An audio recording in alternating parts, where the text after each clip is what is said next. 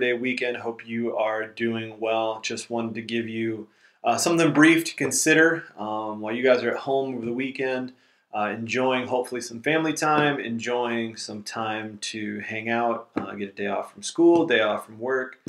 Uh, want to give you something to consider as we've been working through uh, this passage uh, in Matthew. We've been talking about marching off the map over the last few weeks and um, first week, we talked about being the light of the world and what that looks like and how that uh, kind of changes the way we do things and it changes our goals and changes our perspectives. And um, last week, via video, we talked about uh, the places that God sends us and where we can be an impact and where uh, God has put us in strategic places, whether that's school or work or home or uh, anywhere God you know, puts us.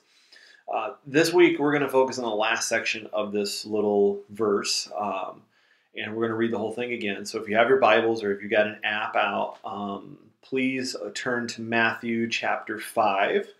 Um, I've got my Bible right here. And uh, Matthew 5, so you're looking for the big number 5 or chapter 5.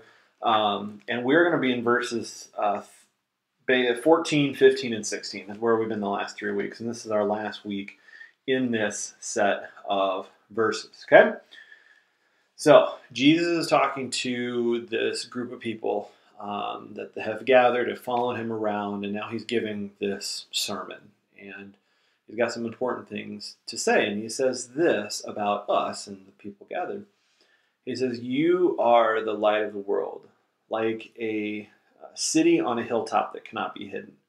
No one lights a lamp and then puts it under a basket. Instead, the lamp is placed on a stand where it gives light to everyone in the house. In the same way, let your good deeds shine out for all to see, so that everyone will praise your heavenly Father. So, over the last couple weeks, uh, we've broken this down into three different sections. The first one we looked at, like I said, kind of where you're going and how you're getting there.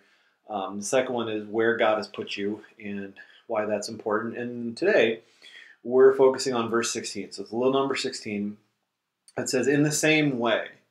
So Jesus is referring to basically what he just said, it just may be a little different path. Okay? It says, in the same way, let your good deeds shine out for all to see, so that everyone will praise your heavenly Father.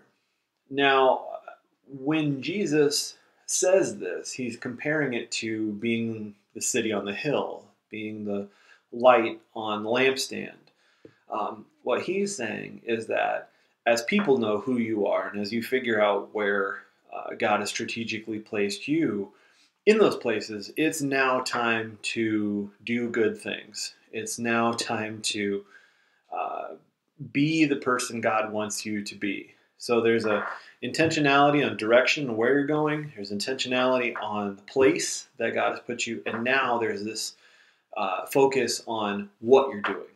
So uh, this is really where the rubber meets the road because we can think about where God puts us. We can think about the direction we're headed, but really, if it doesn't change how we live life, how we operate with people, then, I mean, the rest of this is pretty useless. So when Jesus says in the same way, let your good deeds shine out for all to see. All to see being uh, this notion that when people figure out that something is different about you, it's not heaping praise on yourself. It's not trying to be the goody goody. It's about pointing people to God and saying, the reason I do this, and the reason that I am different, and the reason that I treat people different, and the reason that I care about others, and the reason that I want to live this life differently isn't because I believe I just need to be a good person. It's not because I you know want to get to heaven. It's so that we can point people to god and to jesus. It changes the focus on why we do what we do. So it's not so much about being a good person not so much about just having our ticket to heaven. It's more so about uh, pointing people to god and saying this is the reason why i'm different. This is the reason why uh, i do what i do and so, what I want you to do for this week, um, as we wrap this up, we can keep it short. It's Labor Day weekend, okay? So, what we want to do um, this week is this. I want you um, this Labor Day week, okay, so starting Tuesday when you head back to school, I want you to think about what good deeds, good deed could be singular, God is calling you to do. What good deed is God prompting you? Um, I think if you if you take a second and think about it, there's probably something on your radar that you know that in the past you haven't done real well, and you know God wants you to do something differently, to do something about it, and maybe this is it. So maybe it's something at home. Maybe it's a conversation with mom and dad, or grandma and grandpa, or an aunt and uncle. Maybe it's a, a conversation at school with uh, the way you treat your teachers, uh, the way you talk with your classmates, the way you talk about your teachers with your classmates. Maybe you're, um, maybe it's uh, how you treat people at school um, instead of, you know, ignoring people or instead of just shying away and saying no I, i'm not going to talk to them no one talks to them maybe maybe this week's your week just to say, hey, I notice you. Um, I wouldn't probably say that, um, but just saying hello, um, maybe finding out their name, um, maybe sitting with people, different people at lunch. It's going to get you out of your comfort zone. Um, that I will admit, it's not easy to do. So don't don't think I'm just saying this is something super easy to do. Um, it's going to take some courage. It's going to take some perseverance. Uh, but I know you've got it. That's the thing. I know that you've got this courage in you. I know that you've got this grit in you to be, you know, someone who's going to change the world. So um, don't lose sight of that. Okay. So one thing you're going to think of one thing, and you're going to do it. It's it, that that's it. You're going to do it. Good deed. And instead of trying to do it to be a good person, you're going to do it to say, God, this is all about you. That's that is our challenge this week as we're marching off the map as we're thinking about life differently. One good deed that points people to God and that you know God is calling you to do. Okay? That's it.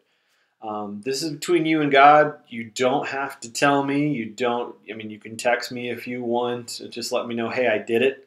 Um, you don't have to tell me what it's about. You don't have to tell me any of the details. Um, this is just between you and God, okay? But we want you to focus on that this week. So we're going to pray, and we're going to be done because it's Labor Day weekend, and uh, that's that. So let's pray, okay? It's cool? All right, let's pray. God, thank you for today. Thank you for a chance to read your word and think about you. Thank you for Labor Day weekend and a chance to have some time off. We pray, Lord, that you would guide our steps and that you would show us what good deeds you want us to do. Uh, not because we're earning anything, not because we want to be goody goodies, but because we want to point people to you. And we want people to see Jesus through us. So uh, we pray that you would lead us in the right places, in the right direction to go, and that we would have the courage and the strength uh, to do as you have called us to, and to do uh, what you have put on our hearts. We give you all praise. We say thank you in Jesus' name. And everyone said, Amen. So, that's that. Have yourself a great, great week, weekend, and uh, we will touch base next time. All right. Take care, guys. Bye.